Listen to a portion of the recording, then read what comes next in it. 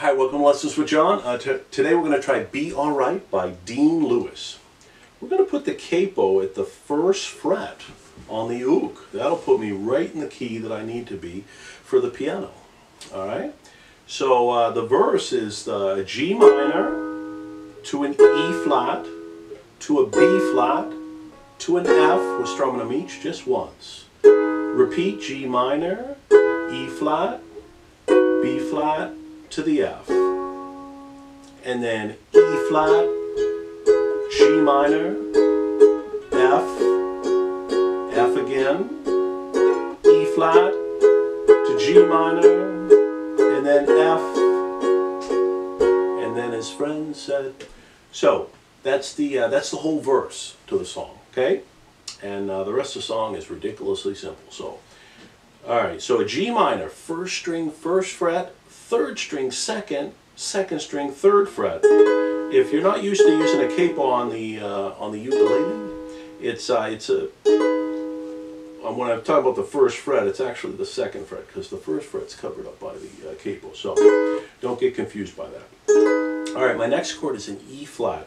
I'm actually going to leave these two fingers right where they are and just move my middle finger up to the third string, third fret. Okay, so it ends up being open fourth, uh, third string third, second string third, and first string first. That's my E flat. That's very simple. Then my B flat chord, I'm going to bar the top two strings at the first fret, third string second fret, fourth string third fret. That's my B flat. My F chord is second string first fret, fourth string second fret. That's my F. And those are all the chords you're going to need for the whole song. Okay? So for the verse, it's G minor, um, I look up from the ground and I see your sad eyes, sad and teary eyes, and you look away, and there's something there you're trying to hide. So that's the that's the verse part. Okay, so he comes right in singing G minor, E flat, B flat to an F, and then he repeats it. G minor, E flat, just hit them each once, B flat, and then F. Now you might want to create a little bit more energy, so I'm going to go to an E flat.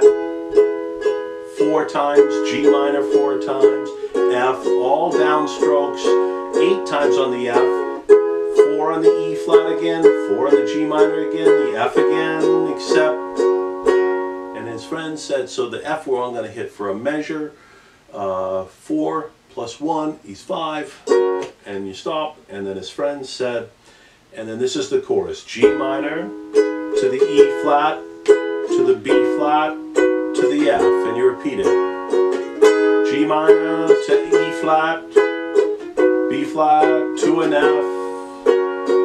And that's the chorus. So what I did there is, um, it's the same chords as the very beginning of the song.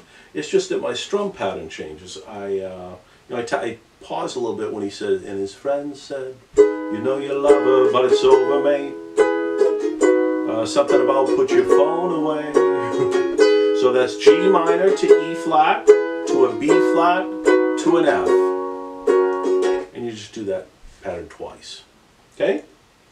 At this point in the song, the verse comes back again, just the way we played it. And then the chorus comes back, except it's two times in a row instead of just uh, one time. So don't be confused. One chorus is you repeat that pattern twice, so two choruses you repeat it four times. All right, hopefully that makes sense to you. I know it's confusing me.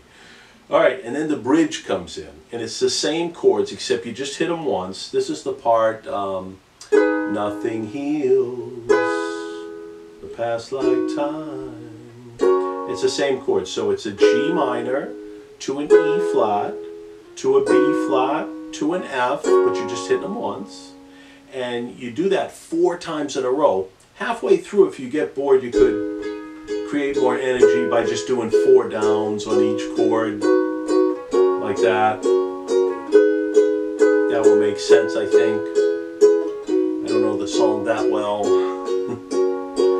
could maybe hit that F once and pause. And his friend said, because now you're going back to the chorus again. That's the, uh, the, you know the the catchy part of the song. So you could think like you just ride that out for the rest of the song, really. um, because you do the chorus and then the chorus again, and then the outro is just G minor to the E flat again, to the B flat, to the F, G minor to the E flat, to the B flat, and the F. So it's just like a chorus, except you end the song on the G minor chord. So that's why I made it an outro. Um, but it's it's the same as a chorus, and um, so that's all there is to it. I wish it was more. There's not. It's not that complicated. All right. Hopefully that makes sense. Um, so it's a verse, chorus, verse, chorus, chorus, bridge, chorus, chorus, outro, which is just a chorus, and then end on a G minor. Okay? Uh, questions and comments and suggestions and all that stuff and all that down below. And uh, please hit like. Hey, please subscribe. I only got 10 subscribers this week. What's going on? Where are you people? All right. Thank you to all my subscribers, though. And play more.